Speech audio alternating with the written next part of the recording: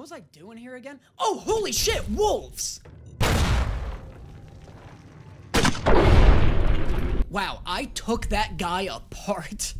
I'm fucking, I'm fucking putting out a tutorial on disassembling wolves over here.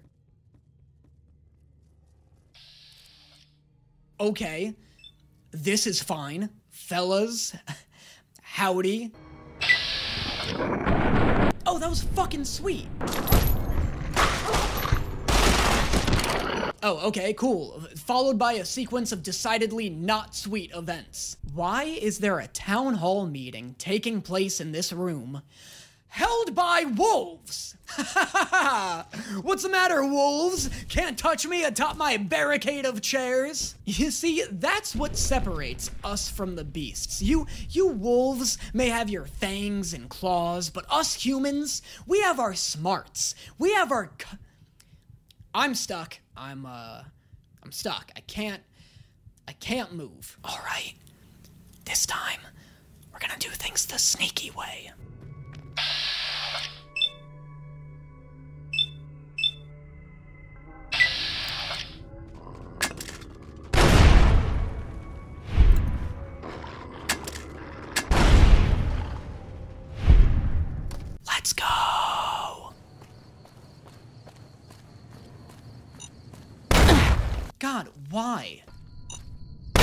God, why? This person appears to be near death. To remove them from the cross would kill them. What about that? Would that kill them?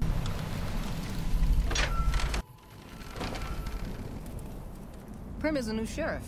That should keep the powder gangers away. What the hell is this place?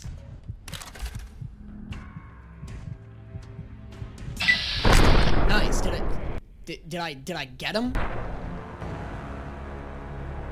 Okay. Holy shit! Just one last rat. Here we go. You know what? Fuck this cave. Hello there. It's good to see a friendly face. I almost took you for a raider, I did. Name's Malcolm. Hey, Malcolm. Why are you three feet tall? Don't suppose you'd care to trade. I'm missing a few essentials and... Ah, oh, screw this.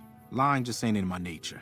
Oh, damn, this guy gave up on being an NPC like halfway through his introduction. Those caps with the blue star on them, the tale goes, are the key to that treasure. They're called Sunset Sarsaparilla Stars. Sunset Sarsaparilla bottles, huh? That is the coolest thing I have ever seen. I love that they named this whole town after this busted up sign. Well, butter my butt and call me a biscuit. I will not. Likewise, friend, likewise. Is there anything old Vic can do you for? God, what a guy. What a stand-up gentleman. The only people who've been nice, charming, and enthusiastic towards me in this game have been fucking robots. Is there like a robot supremacist run I can do? Everybody else sucks. Imagine being rude to this man. Imagine being that evil. I could play this game a thousand times, and this is a dialogue option I would never see the outcome of. Well, welcome to you. You look tired from the road. Why don't you relax a spell? Let this fine town take care of you. There's something so existentially sad about seeing a woman who just wants to be a polite front desk worker in the middle of the apocalypse. Right?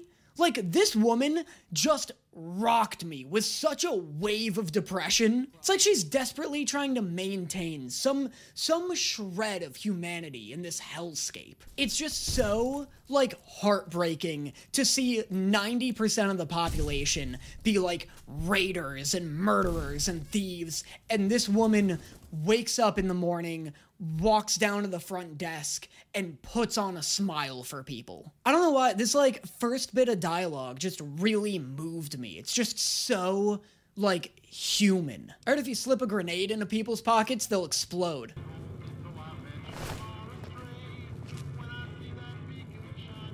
Oh, what the hell? Well, there's Dinky, the town mascot. He's a sight.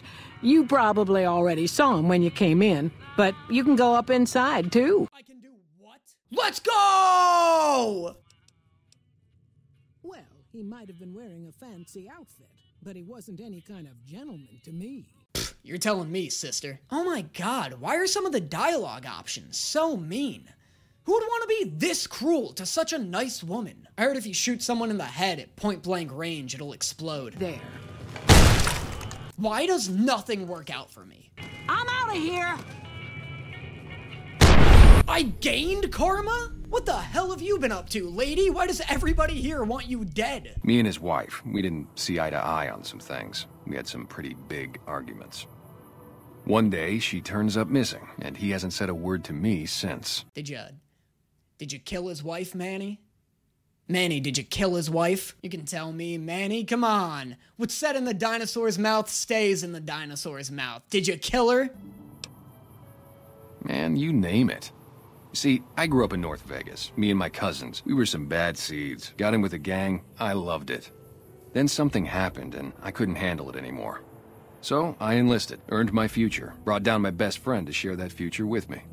And here was this woman who was too good for it, trying to take him away. So yeah, I didn't see eye to eye with the bitch. Sounds like a real bitch, Manny. Sounds like she'd be better off dead, Manny. Did you do it? Welcome to the Dino Bite gift shop. My name's Cliff. If you're here for the T-Rex figurines, you're just in time. There's still a few left. Still a few left. Jeannie had like a dozen on her desk. Is that why nobody around here likes her? Because she's hoarding all the dino figurines? Well, there's T-Rex figurines, of course. That's our bread and butter. How could that possibly be true? Who in the whole of this godforsaken desert wasteland is buying dinosaur figurines from you? Guns? I, uh, well, yeah, I guess I might have a few. Darn it, no one ever buys the T-Rexes. Yeah, I fucking bet. A few left? Billy, you've got a thousand of these things in stock. Where are you keeping all of these figurines?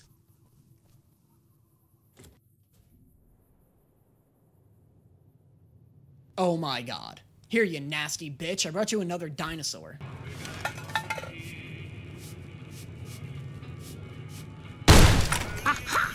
Holy shit, that animation was crazy. Did you see the way she- Oh, she's fighting back this time! Fine weather for flying. It's times like these that make me miss it all. Wow, this woman's got a great attitude considering I just broke into her hotel room. Oh, please don't kill me. Yeah, see, now this is the reaction I was expecting. Robbed is such an ugly word. It's more like I took care of a payroll problem for him. Also, I might have, uh, sort of plowed his daughter. A little. Really handling the situation delicately, huh? I might have relieved him of a few of his caps, that's all. Also, I porked his daughter sloppy style. Oh, so that was bad, but killing Jeannie's fine? Who sent you? I ain't talking. They tried to get me to talk before, but I didn't say nothing. And I don't aim to now, by gum. Confounded, no bark, you done it again. You let on that you know things. Now they'll never let you be. All right, stranger, you got me. What do you want to know? Immediately started talking. I didn't even have to run a speech check on him. I don't care what you do to me, I'll never talk. I ain't gonna tell you nothing about the things I know. Oh god, I told him I knew things. Oh no, Bark, how are you gonna get yourself out of this one? Alright, I'll talk, but I'll only tell you everything. I come face to face with the Chupacabra himself one night, whilst I was investigating whether this gecko was hiding his treasure from me. He was the meanest, ugliest Chupacabra you could imagine. Had two heads and fangs down to the ground. Best I could tell, anyways, since when he come up to me, he was invisible. No, Bark, I'm gonna be honest. I am hardly keeping up with whatever the hell it is you're talking about. The man just told me about an invisible chupacabra with machine guns for hands. Hasn't this question already been answered? Hey there. Been to the top of the dino yet? Yeah, dude, it was fucking sweet. Open door to No Bark Shack. Why did I think this wouldn't be horrifying? Bye. Between you and me, I don't think she studied at an accredited institution. What, are you just gonna take that from it? Fuck! Thank you guys so much for watching. If you liked this video and you want to see more, make sure you subscribe. Also, let me know what other games you'd like to see me cover in this sort of format in the future, and I will see you guys next time.